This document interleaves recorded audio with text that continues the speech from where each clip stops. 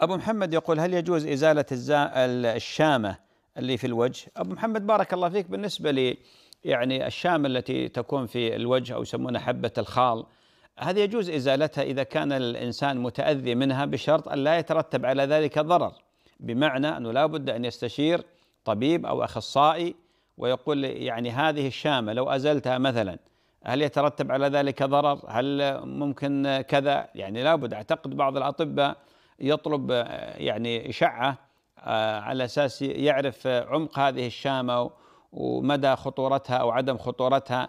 ولذلك الأصل أن الإنسان إذا أحب أن يزيل حبة الخال أو الشامة يسمونها آه، يجوز له إذا رأى بأنها عيب مع أن الناس يدورون حبة الخال ها؟ بعض الناس يبحث عن حبة الخال لكن بعض يعني الشامات أو بعض حبة الخال هذه في مكان قد يكون يعني تمثل مثل العيب لبعض الناس. عموما ما في بأس بهذا الشرط أنه ما يترتب عليك ضرر.